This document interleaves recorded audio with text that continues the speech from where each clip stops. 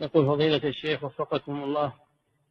يقول هل من السنة الإكثار من أكل الحلوى اتباعا للرسول صلى الله عليه وسلم لأنه قد ورد إنه يحب الحلوى تمر خاصة.